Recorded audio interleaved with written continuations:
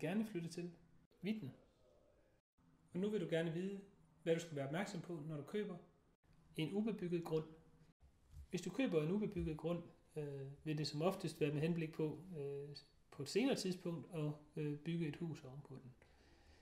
Det du skal være opmærksom på, når du køber en ubebygget grund, vil jo så primært være, er den her grund egnet til at bygge det hus på, som du gerne vil? Lever jordforholdene op til øh, de standarder, der skal være, eller vil det kræve ekstra fundering? Og øh, kan du få lov at bygge et hus af den størrelse og øh, den stil, som du gerne vil?